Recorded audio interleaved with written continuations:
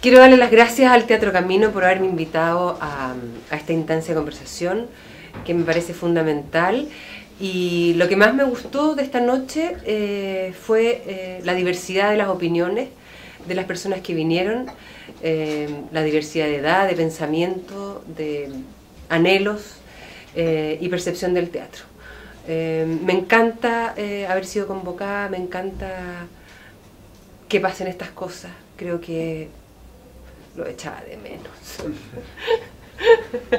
ya, eh, nada, lo pasé muy bien. Eh, se hace corto el tiempo.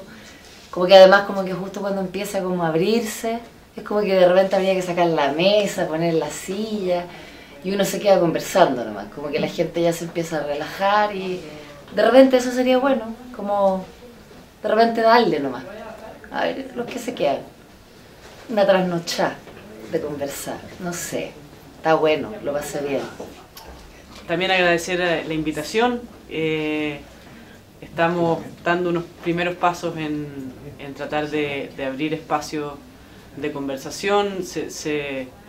Creo que fue muy entretenido como despegaron miles de, temas distintos. Pasamos por políticas culturales, por temas de percepción, eh, breve historia de, del teatro.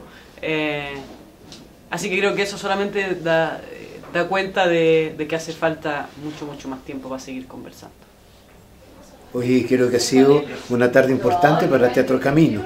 Han estado presentes tres grandes personalidades del teatro, tres grandes mujeres, tres grandes artistas que han podido hablar sobre el teatro, han podido discutir sobre un tema que es muy candente, sobre qué es el teatro para la sociedad actual, qué significa. El público también se ha expresado con mucha soltura, con mucha pasión. Creo que se han dado excelentes ideas, se ha hablado con mucho entusiasmo sobre el teatro.